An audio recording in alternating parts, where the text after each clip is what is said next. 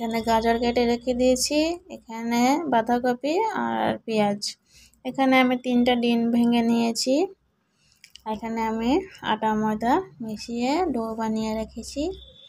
আমার প্যান গরম হয়ে গেছে, অল্প সাদা অয়েল দিয়ে দিলাম। এখন আমি এটাতে ডো বানিয়েছিলাম, সেগুলো আমি বেলে নিয়েছি।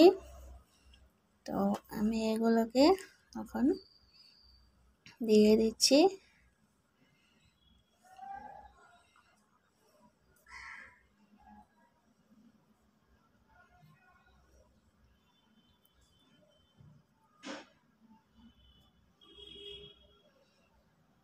তো এক সাইড হয়ে গেছে এখন।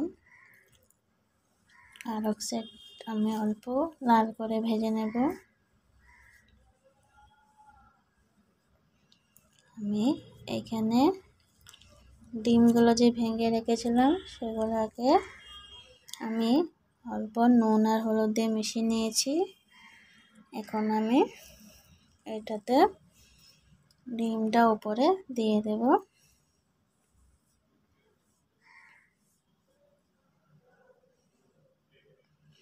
আমি চারিদিকে ডিমটা ছড়িয়ে দিচ্ছি।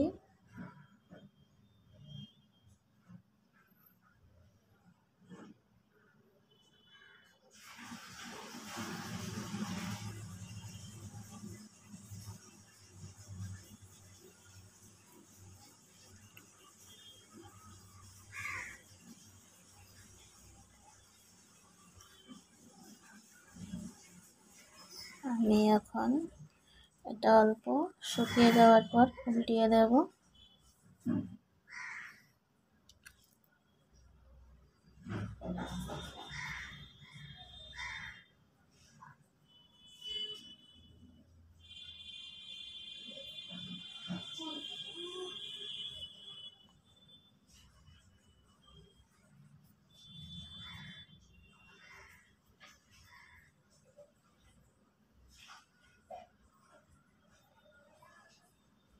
এখন আমি এটাকে পাল্টে দিচ্ছি।